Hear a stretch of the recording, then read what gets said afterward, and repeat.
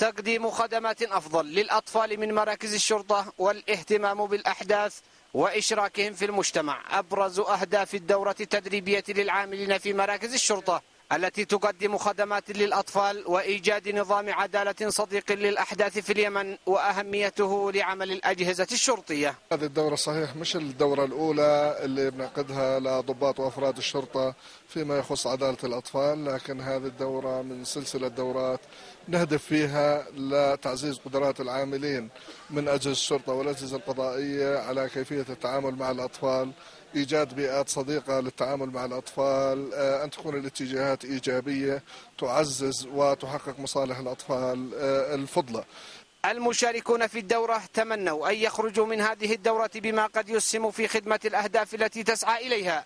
آملين من المجتمع والبيئة المحيطة بالطفل.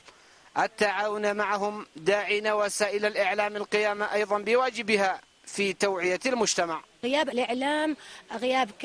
لا نقول كامل إنما آه، غياب آه، ضعيف وأتمنى أن الإعلام تأخذ دور كبير في آه، في توعية الأسرة وتوعية المجتمع عن الأحداث وما هي نتيجة عدم المتابعة للأحداث.